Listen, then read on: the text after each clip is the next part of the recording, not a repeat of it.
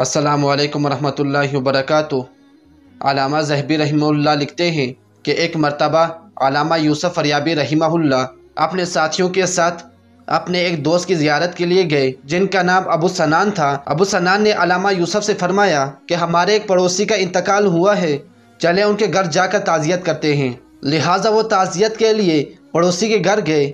जब ये वहाँ पहुँचे तो देखा इनका पड़ोसी बहुत रो रहा है। और इनकी ताज़ियत भी कबूल नहीं कर रहा। अलामा जहबी रहमल्ला ने कहा कि क्या तुम जानते नहीं कि मौत के बगैर चारा नहीं? वो कहने लगा हाँ जानता हूँ। मैं अपने भाई की जुदाई पर नहीं रो रहा, बल्कि मैं अपने भाई के लिए रो रहा हूँ, जो सुबह और शाम अजाब में मुबतला है।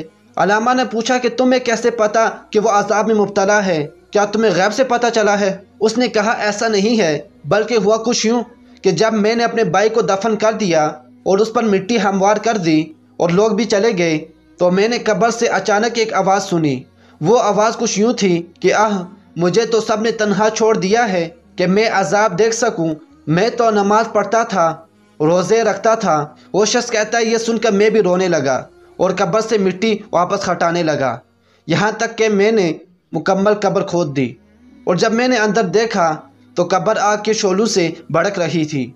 और मेरे भाई के गले में आग का तोक था। भाई की मोहब्बत ने मुझे उबारा और मैंने उसकी गर्दन से आग का तोक उतारने के लिए हाथ बढ़ाए तो मेरे हाथ आग में जल गए और काले स्याह हो गए।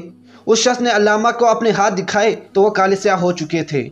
उसके बाद वो शख्स अल्लामा से कहने लगा, अब आप मुझे बताएँ कि मैं उसके हाल पर क्यों गम ना करूँ और कैसे ना रहूँ? अलामा मोहम्मद फरियाबी रहीमुल्ला कहते हैं कि, तुम्हारे भाई का ऐसा कौन सा अमल था जिसकी वजह से उसकी ये हालत बनी। वो शख्स कहने लगा कि मेरा भाई अपने माल की ज़िकात नहीं देता था। नाजीन आपको ये वीडियो कैसी लगी कमेंट में ज़रूर बताएँ। और अगर अभी तक हमारा चैनल सब्सक्राइब नहीं किया तो हमारा चैनल लाजमी सब्सक्राइब कर दें और मुझे अपनी दुआओं में याद रखें। अल्लाह हाफिज़।